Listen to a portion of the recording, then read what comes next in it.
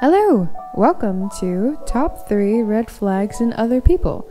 In my personal opinion, these are some oddly specific red flags I notice when encountering other people. Number 1. Wearing construction grade safety orange on a day to day basis. That exact shade and color in a casual setting? What is up with that?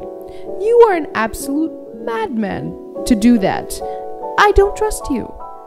Number two, thinking the desert is pretty or canyons are pretty.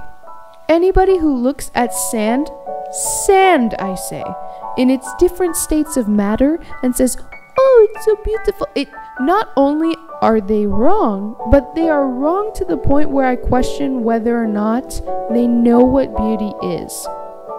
Number 3. Interior design where you put tan on brown. Brown on brown or darker brown on brown also on tan. I admit I am no fashionista. Interior design isn't really my department. But why in the world would you use sand colored tan and put it next to dirt colored brown and then decorate your whole house looking like that? Why would you do that? I'm never coming to your house again. That's it. That's all I have for the video. I am very tired. I pulled an all nighter working on this album I'm making, hopefully coming to you this May.